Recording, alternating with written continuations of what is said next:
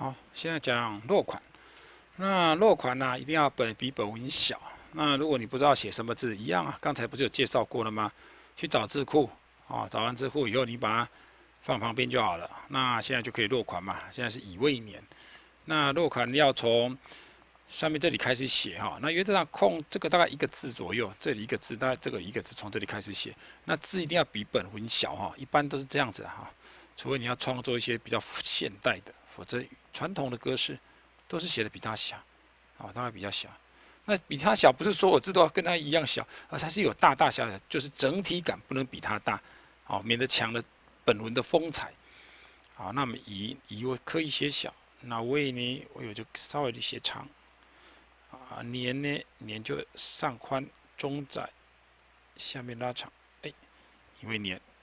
然后通常名字上面可以空一格啦，这样可以彰显自己的名字哦。如果你一直写下来，就不知道你你的名字在哪里。那通常会稍微空一格或半格，随便你。咦，这么快的消失了？啊，陈，啊，那刚才讲过要比较小，那你就很努力的把它写小。啊，当然这大概是两公分的格子，写落款的时候就会觉得这支笔略大。那笔呀略大都还是可以换啊。如果你有这个是。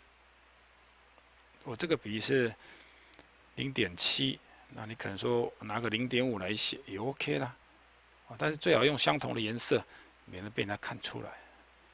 好，承中剑，啊，那这样作品就完成了。那下面如果有印章，还可以盖盖印章。当然，一般人没有这么小的印章了哈，除非你刻一刻。那原则上，通常上面会看的比较近，下面这里会空的比较多，这样比较好看。哦，这样感觉这个字往上集中。往中间集中的比较好看哦，不要这里很多人都喜欢把这里空很大，然后把名字压在下方哦，这样是不对的哈。好，这就是一个作品啊，那包含你后面怎么落款啊，都帮你设计好了，你可以自己试试看。